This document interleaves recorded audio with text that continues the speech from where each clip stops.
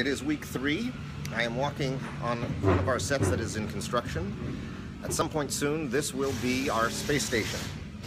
Let me see if I can show you a little bit more of it.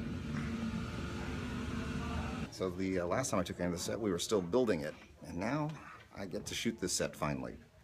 Uh, you know, as a guy who grew up loving Star Trek and Star Wars, to get to have a set like this and shoot at is more than a dream come true.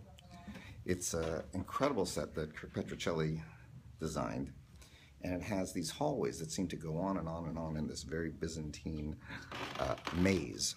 Uh, one of the things we want to be able to get is this feeling that you could get lost in the ship, that it's so large.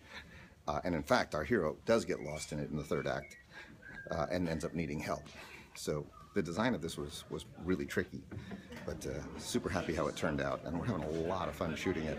You can also see that people get a real kick out of being on this set. So this is Robert and Adepero. Yeah. Hello. Hi. You're right, my love. Whoever you are.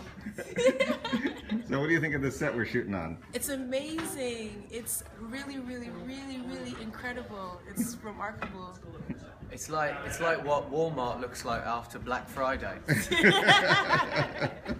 One of the things that I like about the way the set was um, prepped is that you'll see that on a, lot of the things on the walls and the ground, it's all scuffed and marked and made dirty. And it was interesting because we had some guys from NASA, because we're actually shooting this at NASA, and we had some guys from NASA walking around, and they were so impressed with how believable everything looked because they said, as hard as they try to keep everything pristine, very, very quickly this stuff gets beaten up and, and, and ripped apart and dirty and scuffed up.